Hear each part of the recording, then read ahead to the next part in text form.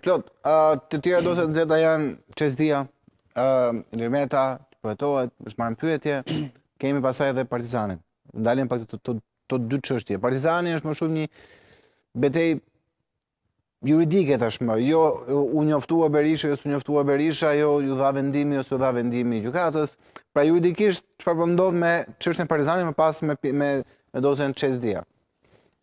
Dosja Partizani, prokuroria e posaçme e ka mbajtur qëndrimin e vet, i është drejtuar gjykatës, janë caktuar masat e sigurisë, ne e dimë tashmë, detyrim paraqitje dhe ndalim për të dalë jashtë vendit për zotin Berisha, ishte arrest me burg dhe më pas u ndryshua masa për, po, Jamarbër Malltezin, u bë arrest shtëpie dhe masa të lehta alternative dhe për Fatmir Bektashin. Prokuroria ka ngritur akuzat e korrupsionit dhe pastrimit të parave, vetëm zoti Berisha ka vetëm korrupsion, ndërkohë Jamarbër Malltezi dhe Fatmir Bektashi korrupsion dhe pastrim të parave, janë sekuestruar njëzet e pesë pasuri të Jamarbër Malltezit, përfshirë dhe aksione në shoqërinë Homeplan e të tjera me radhë, llogari bankare. Tani qështjen, qëllimisht mendoj, të gjitha palët, ose më saktë pala e akuzuar, e ka futur, e dyshuar në rastin konkret, e ka futur në një ngërq ose në një, në një rreth vicioz procedurial. Prokuroria e Posaçme në këndvështrimin tim nuk ka më asnjë arsye ta vonojë, nëse ka prova dhe fakte duhet ta mbyllë t'i marrë të pandehur gjithë personat dhe t'ia dorëzojë gjykatës, sepse nuk ka më arsye të po. hetojë një çështje e cila ka qëndruar dyerve të gjykatave të prokurorive vite me radhë. Mund ta bëjë gati, t'ia dorëzojë gjykatës dhe gjykata të thotë fjalën e saj të fundit dhe procesi të mbyllet.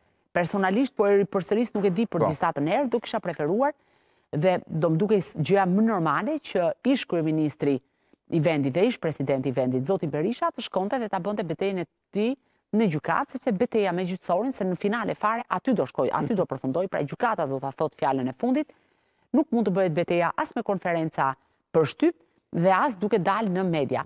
Beteja bëhet në në gjykatë. Nga ana tjetër, ka edhe një detaj tjetër që duhet thënë, zoti zoti Berisha në këndvështrimin tim ka patur një gjuhë të papranueshme për gjyqtarët dhe prokurorët.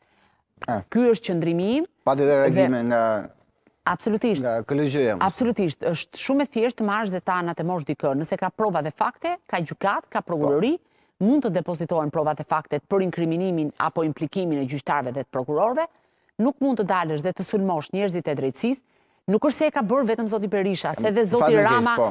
për rastin e Saimir Tahirit ju thoshte prokurorëve të krimeve të rënda në atë kohë, dru të shtrembër, nuk e di domethënë çfarë nuk ju thoshte, i masakroi në fillimet e veta ku nisi qështja. Pra, përgjithësisht, politika, sa herë ndjen lagështi dhe sa herë lëvizin ujra të turbullta poshtë këmbëve, po.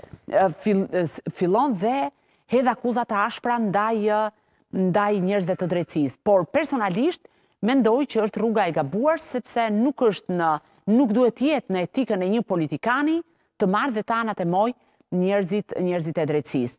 Sa i përket çështjes, ka disa pretendime të SPAK nga njëra anë, ka pretendime po të personave nën hetim nga ana tjetër, gjykata do t'i shqyrtojë të dyja, të dyja palët e pretendimeve, do t'i debatojë në seancë gjyqësore dhe do të ketë një vendim lidhje me këtë çështje.